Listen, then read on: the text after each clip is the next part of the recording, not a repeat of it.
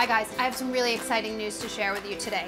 We have a great new book coming out. In fact, it's out already. It's a meatless book, which means more than 200 meatless recipes from the kitchens of Martha Stewart.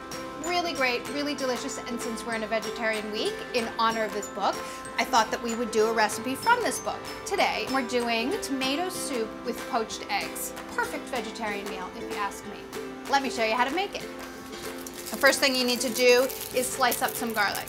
You need three cloves of garlic, very, very thinly sliced. If you didn't want to slice them, maybe you don't like eating big pieces of sliced garlic, or, I mean, elegant thin pieces of sliced garlic, you could certainly chop them. I'm not smashing them because I kind of want to have the whole shape. These are pretty big cloves, but it's one of the major flavoring components of this dish, so I'm not concerned. I like to do it lengthwise because that's the way that I like them to look. It really isn't a flavor issue here. Just want to very thinly slice them. You're halfway done already. Make sure you have one extra clove of garlic on hand and just slice it in half. You're gonna rub that on your rustic toast later. Very rustic, this dish. Now you want to saute your garlic, two tablespoons of olive oil, give or take. Add your garlic, and you just want to cook it until it's fragrant and just lightly golden around the edges. You do not want it burnt or bitter tasting, so be careful. And then add a pinch of hot pepper flakes, a little extra. For good measure, give it a stirry stir. And then you need a can of peeled tomatoes, coarsely chopped, juice reserved, so we can get that ready while this is getting fragrant. One can whole peeled tomatoes and juice. You're gonna chop the tomatoes and keep the juice. So you can chop these in the can with a pair of scissors, or you can just drain them in a sieve like I'm doing, and then just leave the juice in there and chop your tomatoes and then combine them back together again. Up to you. Make slightly less of a mess when you're chopping them if you've already drained them. Obviously there's plenty of juice inside and that can make it a little bit messy, but don't worry. You can clean up, right? My tomato juices are about to flow over my board. Just in time I'm done, you can add your tomatoes right back to the juices because they're all gonna go in together. So these tomatoes can go right in here with the garlic. Add your tomatoes and then add three cups of water and bring it to a boil. Then you're gonna simmer it. What you wanna do is simmer it till it reduces a little when the flavors intensify, but basically that's it. Can you believe it? Add a little bit of salt, but not too much because canned tomatoes already have salt. You taste it at the end make sure that it has the right amount of salt for you before you add your eggs because you're going to put your eggs right in this liquid. While this is cooking, you can get delicious rustic bread ready to serve with it. Basically, you're making really big crostini with a nice big slice of rustic bread. Obviously, if you're only serving four, you only need to make four, but it's always nice to have an extra on hand. This is a great use for day-old bread that you might not want to make a sandwich out of because you're broiling it and it gets really crunchy and delicious. Just line the bread up on a baking sheet in a single layer and then brush it with a little bit of oil.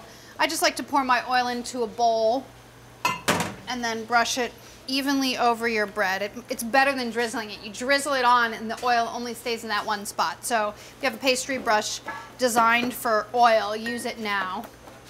And then they go into a broiler. Just a couple minutes. Watch them because they burn really easily. I think my bread's probably done. This broiler is super fast. See?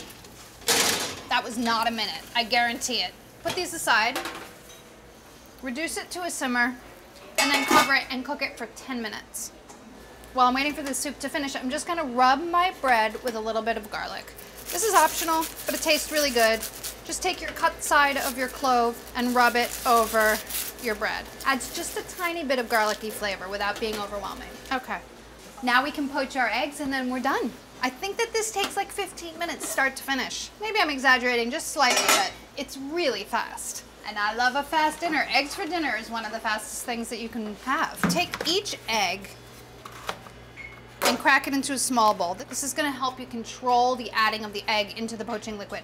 Take the egg and then put the, the lip of your bowl directly into the hot liquid and just allow the egg to slip into the poaching liquid, putting the egg white over the top, very gentle. And that'll control the spreading of the egg white and stuff. And also, it is really helpful if you use fresh eggs for this. The fresher the eggs, the less likely that the white will spread out in the liquid. And then you just keep doing that until you've added all your eggs. You know what else? A little bit of acidity helps the egg whites set right away, and since this is a tomato sauce, it's already predisposed to not spreading around. Cover the whole pot and let them simmer for three to four, maybe five minutes until the egg whites are set and the yolks are still runny. That's the way that I like them. If you want them a little more cooked, leave them in a little longer. I hope you're as excited as I am because it's time for the unveiling. You may not be excited yet, but you will be soon when you see how fantastic this is. Take a piece of bread, put it in your bowl, and then spoon an egg and some of the delicious tomato broth right over your bread. It's really cool. I wanna know if you love this dish as much as we love it here in the kitchen. Smells fantastic, but to make it smell even more fantastic, I'm gonna add a little bit of fresh basil to the top. The waftability factor, extremely high. I smell tomatoes and fresh garlic, fragrant basil.